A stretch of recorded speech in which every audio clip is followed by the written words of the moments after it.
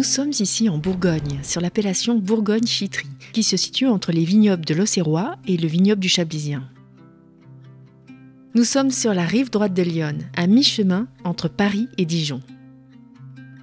Nous, c'est Marie et Alain de la chaîne YouTube Destination Camping Car. Nous parcourons les routes à la découverte des vins et de la gastronomie. Bienvenue dans notre road trip en Bourgogne. Chitry-le-Fort est un petit village blotti au fond d'un entonnoir au versant planté de vignes. Il ne se trouve pas sur un axe principal. À Chitry, on n'y passe pas, on y vient par goût. C'est un détour qui vaut le coup nous rejoignons Lionel avec qui nous avons rendez-vous au cœur des vignes. On est sur des, sols argilo-calcaires, on est dans le Chiméridgien, euh, on est sur euh, une quarantaine d'hectares euh, en Bourgogne-Chitry blanc et ainsi que 40, 40 hectares en Bourgogne-Chitry rouge et rosé. On, a des cerisiers, on a des, vergers, donc on a beaucoup de vignes, on a également des, céréales, il y a beaucoup d'agriculture sur, Chitry. Au niveau altitude, on se situe entre 200 et 300 mètres et Chitry est au cœur d'un cirque donc vous avez euh, toute la partie euh, qui est devant moi, qui est euh, plein sud, et vous avez l'autre partie, donc derrière l'église fortifiée du XIIIe siècle, qui est, elle, plein nord. Comment on découvre cette dénomination? Vous avez une manière de la visiter particulière? Par les vins. Donc vous avez une quinzaine de, viticulteurs chitteries qui seront euh, honorés de vous faire découvrir leur production. Ensuite, vous avez un circuit de randonnée qui propose une quinzaine de, kilomètres autour de Chitry. Donc vous allez pouvoir observer Chitry euh, du nord, de l'est, du sud, de l'ouest. Alors ici on est euh, juste au-dessus euh, du village.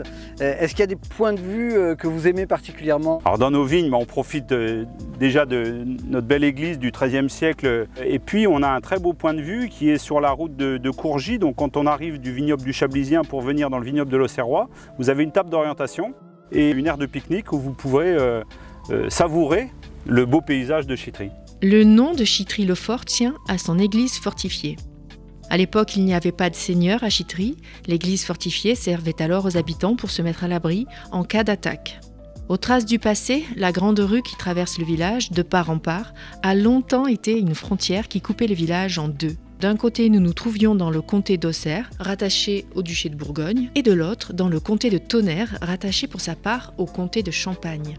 Cette division seigneuriale et urbaine était aussi perceptible dans les relations, car il n'était pas rare que des tonneaux soient volés d'un côté pour être ramenés de l'autre en passant par les caves. On est dans un cirque, donc une, sorte de cuvette avec deux types d'expositions différentes. Comment ça se répartit en termes d'encépagement? Alors en fait sur, Bourgogne-Chitry, vous avez des chardonnays donc, qui produisent des Bourgogne-Chitry blancs qui sont répartis dans tout le vignoble et vous avez euh, des pinots noirs, donc qui produisent du bourgogne-chétri euh, rouge et rosé, qui eux sont plutôt placés sur les versants sud pour avoir euh, assez de maturité les, bonnes années où on a vraiment besoin de soleil pour faire mûrir ces, ces pinots noirs.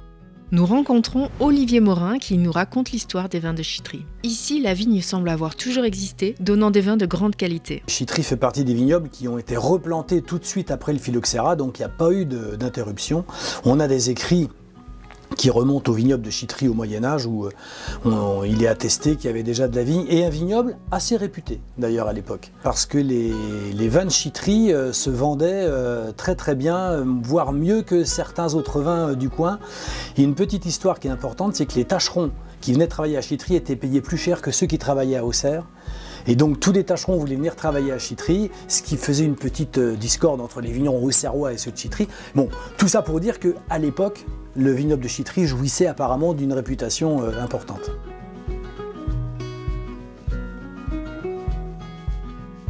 On est au nord de la Bourgogne, donc on retrouve cette fraîcheur minérale caractéristique des vins septentrionaux. Nos rouges sont très marqués par ce calcaire. Et puis aussi, c'est du pinot, donc on trouve un peu de, fruits rouges. Fruits noirs, les années de très grande maturité. Et un aspect important aussi, euh, nos vins sont très épicés. On est sur des rouges très légers, aériens. On n'est pas sur la puissance, hein. on est plutôt sur la délicatesse et l'élégance. Mais on fait des, des, rouges qui se marient assez bien avec euh, les charcuteries, avec euh, toutes sortes d'entrées, les tartes, euh, une tarte aux tomates par exemple, des choses comme ça, et les viandes rouges. une belle entrecôte, là c'est idéal. Pour les blancs, ben, c'est une minéralité euh, typique euh, de, la région, c'est-à-dire euh, qui est méridienne. Alors pour les spécialistes, ça parlera. Pour les autres, c'est une minéralité maritime, un peu iodée, saline. Nos vins se marient très bien avec les poissons. la charcuterie, si on aime bien le blanc avec la charcuterie, les escargots de Bourgogne, évidemment. À l'apéritif avec une gougère, spécialité locale. Et puis aussi, peut-être encore un peu plus étonnant, mais mm, l'habitude vient avec les fromages de Bourgogne. Pas seulement avec un chèvre, mais ça, on le sait. Mm. Avec un comté, on sait aussi. Voilà. Mais euh, voilà, essayez avec un époisse. Pour les rosés, ben voilà, c'est classique, c'est des, rosés d'été qu'on peut prendre avec euh, tout ce qu'on a envie de manger en été, des salades, des choses comme ça, des choses assez fraîches. Ce que tout le monde dit dans la région, Chitry, c'est la convivialité. Donc ça nous va bien.